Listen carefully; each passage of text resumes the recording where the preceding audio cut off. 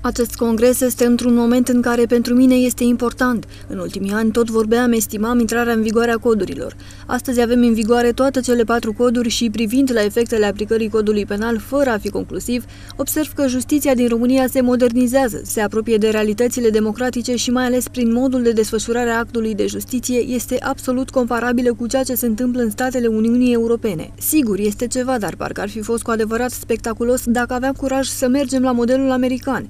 Actualele coduri pot fi un pas către modelul american infinit mai participativ și poate mai fără risc de eșec, și a început președintele discursul.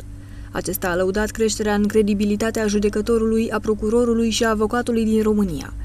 S-a demonstrat că niciun sistem de justiție nu este perfect și nu poate funcționa în afara riscului de eroare. Cei care judecă sunt până la urmă oameni, iar oamenii nu sunt infailibili în modul lor de a gândi și de a aprecia. Esența actului de justiție rămâne însă cea de a respecta drepturile. Indiscutabil, valorile democratice, drepturile omului, statul de drept sunt pilonii pe care se așează sistemul de justiție românesc în ziua de astăzi. Sunt pilonii teoretici, iar cei practici sunt judecătorul, procurorul, avocatul. Această triadă este cea care în în ultimii ani a devenit tot mai credibilă. Trebuie să spun cu satisfacție, chiar dacă știu problemele din interiorul justiției, că și judecătorii au crescut în credibilitate și procurorii și avocații, a completat șeful statului.